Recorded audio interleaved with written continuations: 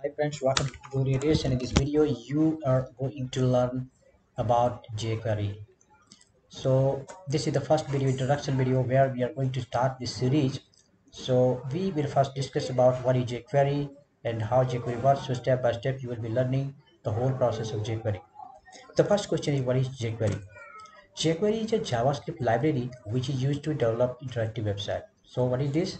JavaScript library. That means jQuery is not any programming language, but it is the library of collections of functions of Java.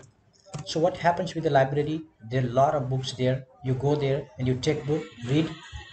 So you take the book and you are not actually uh, buying the book or taking the book from here. Just you take the book, you read it and you put it back there. That means this is collection of library where people can use uh, or read the book age per requirement. For example i want to read the computer book then i can take computer book. If i want to use uh, some language book like uh, you know uh, some other kind of books i can take from there. So similarly uh, jquery is also library where different people have contributed and uh, you know created functions and put in jQuery library. So whenever we we need we don't have to write the large code the whole code just we can use that function rather than creating the whole time uh, whole functions. So this way it is quite time saving. For example in the further sections you will see if you want to show hide then you need to you can do the same thing in javascript also but you need to write large code rather just to write uh, dot, dot show and it will show you uh, you can use that function.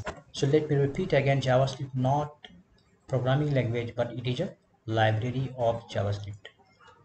Now let's see a brief history about jquery. So jquery was first launched in 2006 and remember jquery is one of its library which really helped javascript to come up. And today as you know javascript is one of the most popular programming language and jquery has great contribution in that. So it was developed uh, by barcamp nyc by John Resig in 2006 and it is currently maintained by the team developers led by Timmy Willison.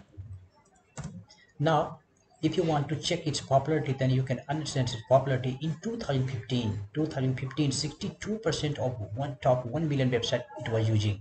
And in 2017 69.2 percent of the 1 million website using jquery and in 2018 78 percent of top 1 million website in 2019 80 percent and as per 2001 jquery used by 77.8 percent of the top 10 million websites you can understand its popularity that almost 80% of the websites of the world is using jQuery.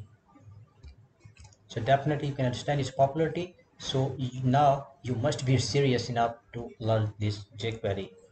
Now let's see few of its features. First is DOM element selectors. For example, you will be using like dot class, dot element, and dot container like uh, uh, has id so we will be using the selectors like class and element or like uh, you know id okay and second one is then DOM manipulations so based on css selection you can manipulate the DOM for example container add css then color color this color red will be automatically added here without refreshing the page. And this is possible through DOM manipulation. Let me repeat here once again uh, if you are not understanding at this point of time what is what are these you know what is selection what even DOM manipulations don't worry but because we will be discussing each point in detail in further videos but for the timing just to understand that these are the things which are uh, these are the features which jQuery provides and the second one is third one is events. So there is just, just like javascript there is a lot of events like click mouse over key press key up key down and etc and there is also effects in so animation you can use animate and animations in jQuery. Ajax so with various server-side programming language like ASP.NET, PHP, JSP, etc. you can use Ajax. So jQuery helps in uh, this using Ajax.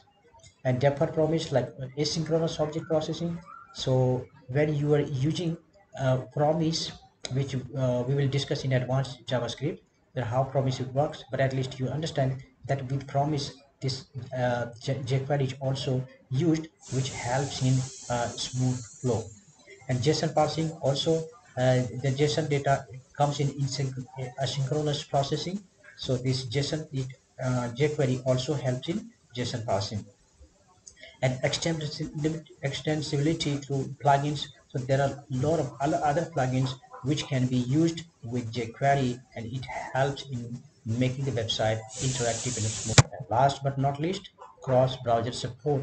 That means what? It can run on any browser, any browser like you know Internet Explorer, Mozilla, and Chrome or Safari. So it can run on any browsers. So this is these are the features of jQuery.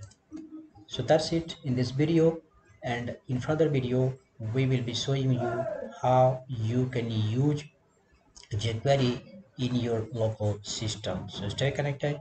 Thanks for watching. Bye bye.